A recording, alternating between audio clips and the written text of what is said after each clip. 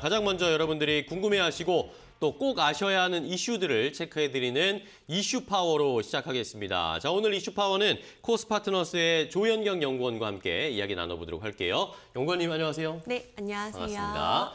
자, 오늘은 또 조현경 연구원과 어떤 이야기를 나눠볼지, 어떤 이슈를 통해서 투자 아이디어를 얻어볼지 두 번, 두 가지 이슈를 준비했는데요. 첫 번째 이슈부터 화면으로 공개하겠습니다. 자, 오늘 첫 번째 이슈는 바로 엔터주입니다. 최근에 날개를 달듯이 좋은 흐름을 보여주고 있는 엔터주들 더 날아갈 수 있을지, 더 날아오를 수 있을지 많은 분들이 궁금해하시고 계실 텐데요. 자, 최근에 뭐 빅3 엔터사라고 할 수 있는 세 개의 엔터사들이 earning surprise를 기록하기도 했고 어, 이 외에도 SM 엔터가 최근에 네이버와 카카오 지분 협상 논의를 하고 있다 이런 것 때문에 함께 이슈가 부각이 되고 있습니다. 과연 이 포스트 코로나 수혜주로 그리고 여러 가지 이슈가 엮이면서 엔터주들이 더 올라갈 수 있을지 조현경 연구원과 함께 이야기 나눠볼게요. 자, 첫 번째 이슈는 바로 엔터주들에 대한 흐름입니다. 뭐 SM도 그렇고 JYP 그리고 YG도 그렇고 하이브도 역시 시장에서 많은 관심을 받고 있는데 자, 최근에 엔터주들을 둘러싸고 이슈들이 좀 많습니다. 한번 쭉 체크를 해 주실까요? 네. 어, 대체적으로 엔터사들이 이제 증권사들이 내놓았던 어떤 consensus를 좀 대비해서 음. 높은 영업이익이 나오다 보니까 네. 전반적으로 주가 급등이 나왔었던 부분인데요.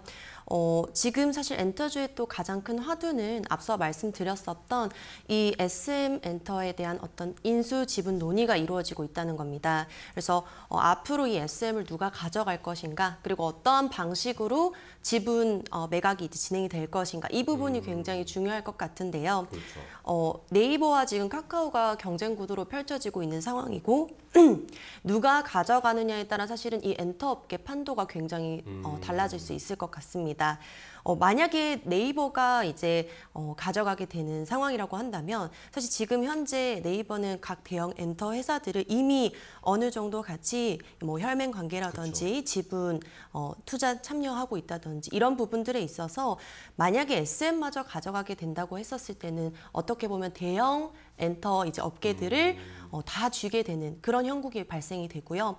어허. 카카오가 이제 우리가 인수가 들어가게 된다고 했었을 때를 이제 가정을 하면 아무래도 이제 지금 네이버랑 카카오가 핀테크면 핀테크, 웹툰이면 웹툰 음. 워낙 이제 경쟁이 치열하다 보니까 네, 이 엔터 쪽 사업에서의 어떤 지금 경쟁도 굉장히 치열해지고 있는 상황으로 만약에 카카오가 인수를 하게 되면은 이제 양강 구도로 음. 어, 진행이 될 수 있는 부분, 비등비등해지는 부분들 이런 부분이 있기 때문에 이 인수에 따른 어떤 엔터 업계의 규모가 달라질 수 있다고 보여지는 부분이고요. 최근에 사실 이런 이슈로 인해서 SM 관련주들은 좀 이미 급등이 나온 부분들이 음. 분명히 있습니다. 네네. 그래서 지금은 어떻게 보면 이런 이슈로 인한 강세고 단기적인 어떤 차익 매물 출에도 우리가 조금은 어, 우려를 할 필요가 있을 것 같은데요.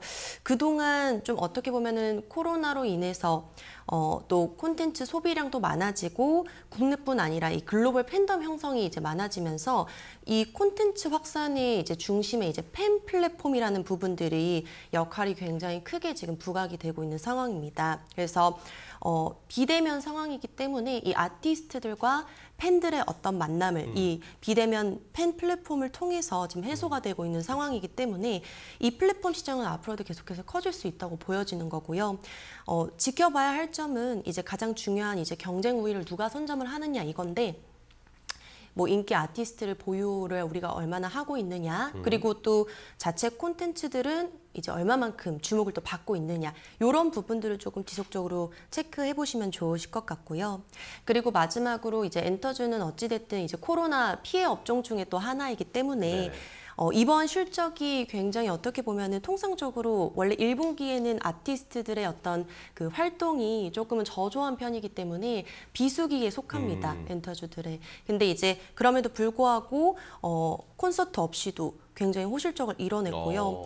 어, 음반 매출이 유례 없이 증가를 했다고 합니다. 전년 대비 무려 73% 증가를 했고요. 이 중에서도 이제 해외 성장세가 매우 뚜렷한데 어, 지난해 음반 수출액이 1억 3,620억 달러, 어, 최고치 역대 최고치를 경신을 했다고 합니다. 그래서 음. 이런 부분들 다 포함해서 사실 앞으로 코로나 백신이 이제 계속해서 확대가 되는 속에서 그리고 또 지난 밤에는 사실 또 이제 미국 국무부가 향- 한국에 대한 어떤 여행 경보를 또 이제 완화를 해서 가장 낮은 단계인 1단계로 또 조정을 하는 부분들 이런 부분들을 우리가 보았을 때 조금은 이런 시기들이 조금 앞당겨질 수 있지 않나라고 우리가 한번 생각을 해볼 수 있을 것 같고요. 그래서 어, 이 콘, 콘서트 재개에 대한 기대감 그리고 아까 앞서 말씀드렸던 이 SM 지분 인수 경쟁 이 부분과 함께 어떤 식으로 이 엔터 업종들이 진행이 되는지 연말까지는 쭉 한번 흐름을 체크해 보실 필요가 있겠다 이렇게 말씀드리고 싶습니다.